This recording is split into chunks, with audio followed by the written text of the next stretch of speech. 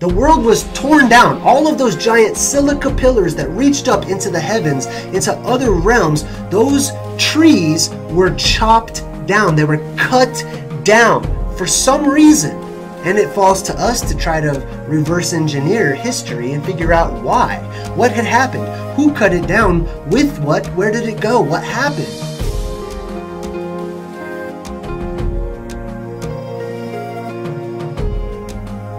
It seems that there are some nuggets in the book of Enoch that talk about the giant trees having been cut down by the titans of old. Let me read from the book of Enoch here. This is going to be chapter 66, and I'm going to start at verse 2.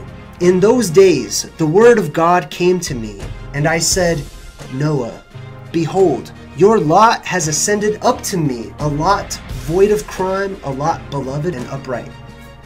Now then, shall the angels labor at the trees?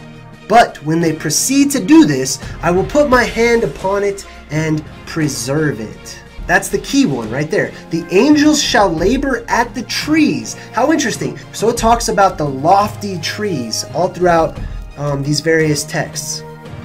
And then it goes on to say, The seed of life shall arise from it, and a change shall take place. And the dry land shall not be left empty. We're focusing on the angels will labor or work on, right? Do something to uh, the trees.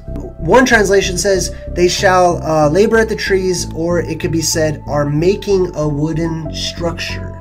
The angels are making a wooden structure. What are the angels doing? Now, angels, as I've talked about in some of my other videos, um, there's other words for that, okay?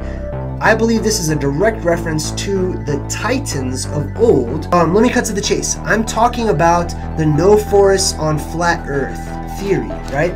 The theory that um, we once had a realm that was beautiful. It was a garden paradise. Everything was majestic and grand, including these gigantic silica pillars that we refer to as giant trees that once existed, that shot up past the clouds and went into the heavens into another realm and connected downwards into the realms below us as well. They were sort of portal into other worlds. And this is where we get stories like Jack and the Beanstalk, where he climbs up this pillar and he ends up in the land of the Titans or the Giants, right? We see the evidence for these trees, or as I call them, the silica pillars, all around us. Um, and they're, you know, they're in movies, they're in books, and they're all over the place if we just have the eyes to see them. Now, they have been cut down. Our world was terraformed. That paradise was destroyed. It was carved down. Now, was it carved down just because there was a bunch of angry titans just, you know, slobbering all over the place like a caveman and they just wanted to kill things and destroy things? I'm not sure. I know that's the picture that we're painted, right? But look at this. This is evidence. You know, uh, society and the world at large would try to have you believe that this is just erosion. You know, wind and rain over time just carved out this perfect tree stump right there in the middle of nowhere, and it didn't have any effect on the surrounding areas whatsoever. Okay? I don't believe it. I'm going to repeat that verse from the book of Enoch, just that one particular, chapter 66, verse 2. Now then shall the angels labor at the trees, but when they proceed to do this, I will put my hand upon it and preserve it. It's interesting to me that it says preserve it. It's talking about the trees, but then it says preserve it, as in singular, right?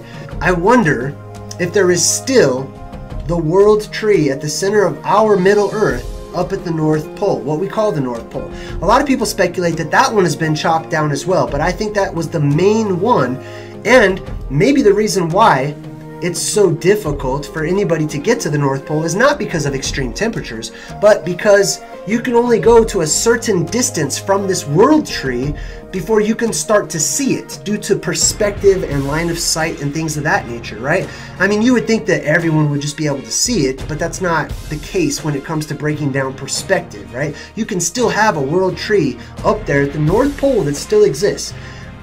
I lean towards it still existing. I'm not sure, but that's a theory that I have. I'm going to read some more quotes from Enoch that I feel are very relevant. I was laying down in the house of my grandfather Malalel, when I saw in a vision heaven purifying and snatched away. And when it says heaven, it's talking about the sky, right? Our dome of the heaven above us. And falling to the earth. So he saw the heaven falling to the earth. He saw the sky falling, right? The sky can't fall. Physical things fall down, right? So something physical up above us called the heavens, he saw in a vision falling down to the earth, just like Chicken Little, who says, The sky is falling, the sky is falling. Uh, we make fun of that, you know, but that hits home to me. That feels like there's some truth there, that the sky has the capability to fall. Something above us that we look at and we call the sky or the heavens or the expanse or space or whatever has the ability to one day break apart and fall downwards. And falling to the earth, I saw likewise the earth absorbed by a great abyss, and mountains suspended over mountains. Hills were sinking upon hills, lofty trees were gliding off from their trunks and were in the act of being projected and of sinking into the abyss.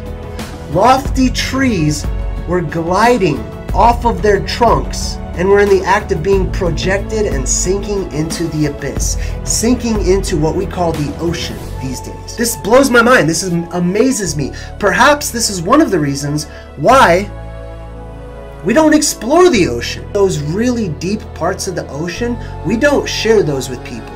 I believe that there are all kinds of remnants of an ancient world down at the bottom of the ocean because I believe that the ancient world was fossilized. It was turned into stone. So let me reread that.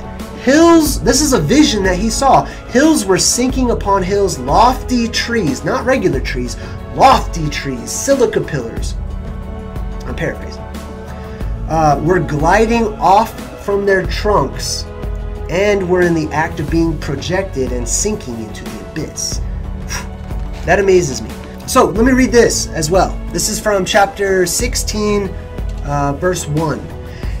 It says, And as to the death of the giants, wheresoever their spirits depart from their bodies, let their flesh, that which is perishable, be without judgment.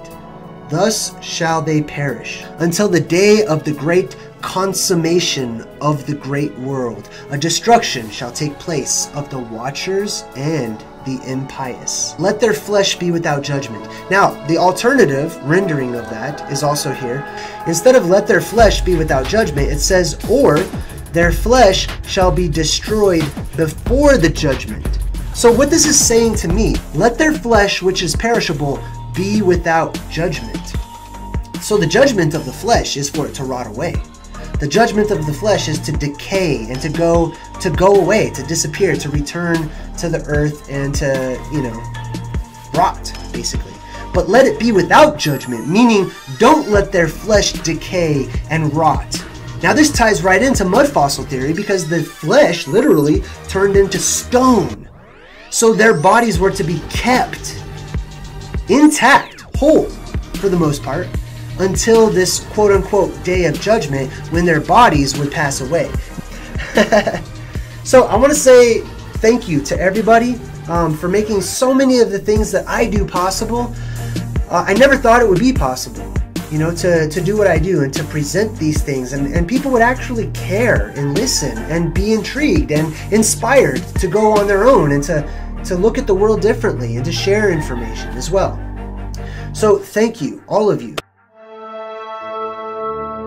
J Dreamers, think outside the box.